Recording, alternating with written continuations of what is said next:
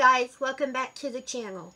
Um, today I'm going to start work on a gourd table lamp and um, it's going to take a little while. We've got a lot to cover so I might break this up into two videos. But we've got a lot to talk about so let's get started. Okay, for one of the, the first steps that you're going to need to do is pick out a good lamp base and there are all kinds of them on the market. There's wooden ones and there's ones that are even bigger and I think maybe there might be one or two or a little smaller. But this is the first time I've used this particular kind and um, I went ahead and I tested it. Wanted to make sure it didn't get too warm. Um, for those of you who follow the channel, you know that this past summer we grew some really really big gourds. And um, the ones that I'm actually working out of this year in my crafting are ones that we grew the year before because it can take so long to get them dried out. So I don't have any really, really big gourds to work with right now, but I have some of these really pretty ones. And um, I tested this out because some of my gourds are a little smaller and I did buy a smaller size. But I did test it out to make sure it didn't get too warm so you could have confidence about leaving it on for a while. And uh, anyway, I tested it for about an hour, a little over an hour, and it barely even got warm. But I'm going to turn this on for a second, so it's kind of a bright light warning. But you can see they do get pretty bright. But they don't hardly get hot at all. It's just barely warm. And I don't know if you can see it, but you can see all the little LEDs in it. But this is a two and a half inch base. And what you need to do first is to make sure of where that light is going to sit on the inside of your gourd. You don't want it way up here in the neck where it's really thin. You want a nice big open spot so it gets enough ventilation. And um, I'm going to break this probably into two videos. So tomorrow, um, I'll show you. I'm going to drill holes and stuff in it to um, let the light shine through. But you do want to make sure that you're going to be sitting in the fatter part of the gourd. And this is actually going to be up further like this. And it's going to set in the center of that big wide spot. But the next thing you need to do is locate one of these. Now, it took me a while to find mine because I haven't used it in a while. And I have a tendency to put something away to keep it safe and then never see it again. But I did find it. Um, I set it to uh, an inch and a quarter. That would be just the one radius. So when you use it and draw it out, it's actually a two and a half inch circle. But what I'm going to do is um, I'm going to probably put a break in here so I can get the Dremel out. And I'm going to cut this out.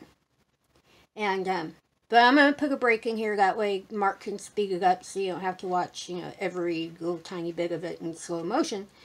But I'm going to cut this out. And then I'm going to get out some stuff and I'm going to get the inside cleaned out good so there's there's nothing in there to worry about at all. So give me just a minute and I'll be right back.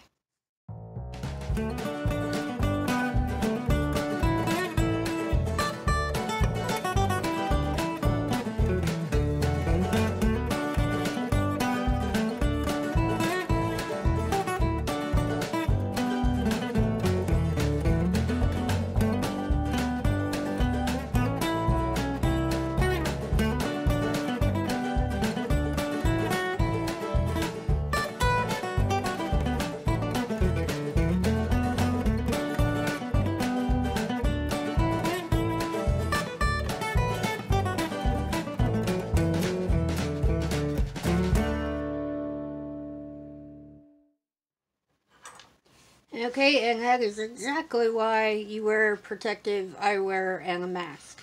You can see all the dust that this produced. And I'm pretty sure you caught the fact that my little sandpaper came apart. But I always have it back up.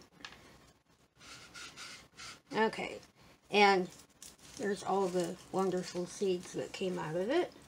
So we're definitely going to keep those. But, now if you can see up in there, that's going to require a little clean out. So, give me a minute and I'll get this cleaned up a bit so we can get in there and get the rest of that cleaned out and I'll be right back. Okay, so I've started getting up in there and cleaning it. But I don't use anything special. There's all kinds of things that you can buy um, to do this. But I actually never got around to getting one of the ones that you use with a drill. But I usually just put a Brillo pad in the end of a pair of scissors.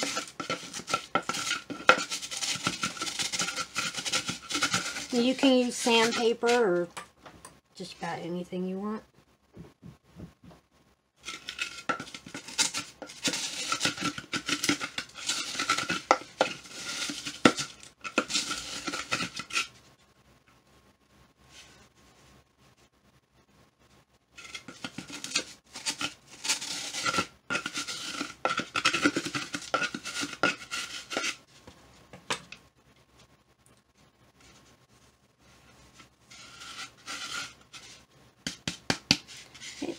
You can look up in there and see. It's really nice and clean. And you can see just how thick the wall is on that gourd that would be a really fun one to use. But on the inside of the gourds there's a lot of this dried paper like stuff and you definitely want to make sure that you get all of that out. And you can buy some of the fancy tools and stuff to do it or you can just do it really simple. But let me get this cleaned up and then we'll come back and we'll see if that base fits. Okay, now for the moment of truth. Does the base fit? It fits on there just perfect.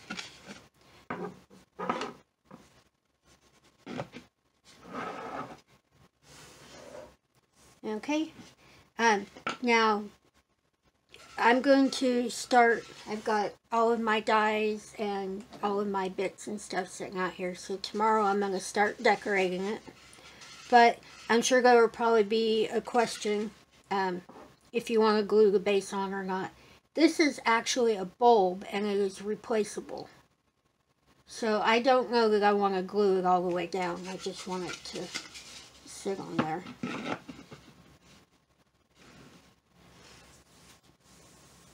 But I'm going to start getting ready. And it probably also wouldn't help to turn the light on because I haven't actually drilled any holes in it yet. But um, I'm going to start getting ready to get this carved up tomorrow. Um, I'm going to take a little while. I'm going to think my way through it. And I'm going to decide what kind of design I want to put on it. Um, might do a little wood burning, but I'm definitely going to do some carving and I have all of my inks out. And I have all of the applicators are in here. And I've got a set of diamond tip bits. And there's all different kinds in there but we'll cover all of that tomorrow.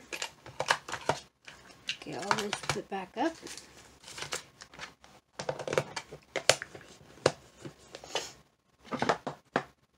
Okay, well that was a lot of fun and we're all cleaned out and we're ready to go. So, I'm going to go ahead and get out of here for now. And that's all there is to it. But I'll be back to talk to you in just a minute. Okay, so that's all the footage that I have for today. And I know there's going to be questions about how my hand is healed up, but I had no trouble and no pain with working with the Dremel, so um, tomorrow we're going to do quite a bit more. But um, I hope you stick around and see what, what else I do to this. Um, it's going to take me a little while and I'm going to be thinking on it, but um, playing with gourds and carving gourds and making fun things out of them is probably the most fun for me. So, um, I hope you enjoyed the video. I had a whole lot of fun. And um, tomorrow we'll do all the decorating and everything, and I'll I'll try my best to get it all into one video. That way we don't end up making a series that's really too long. But um, as always, if you're not subscribed to the channel, please subscribe. If you enjoyed the video, please give me a thumbs up. Don't forget to ring that little bell. It will let you know when we have new videos out. And don't forget to leave any comments or questions. And like we usually say, um, we answer everything and we read everything. And if we have an answer for you, good. And if we don't, we will find you one. But I've got a lot of planning and stuff to do, so I should probably get out of here. And as always, love you guys, and we'll see you in the next one.